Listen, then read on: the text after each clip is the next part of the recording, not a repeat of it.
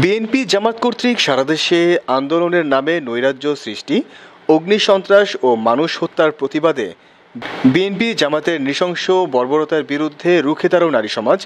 এই স্লোগানে জয়পুরহাটে জেলা মহিলা আওয়ামী লীগের আয়োজনে মানববন্ধন অনুষ্ঠিত হয়েছে। এ উপলক্ষে আজ সকালে শহরের জিরো পয়েন্টে অনুষ্ঠিত মানববন্ধনে জেলা মহিলা আওয়ামী লীগের সভাপতি শাম্মী আজিজ সাজের সভাপতিত্বে এ সময় বক্তব্য দেন জেলা আওয়ামী লীগের সভাপতি আরিফুর রহমান রকেট, সাধারণ সম্পাদক জাকির হোসেন মণ্ডল ও পৌর মেয়র মোস্তাফিজুর রহমান মোস্তাক। দেখতে পাই না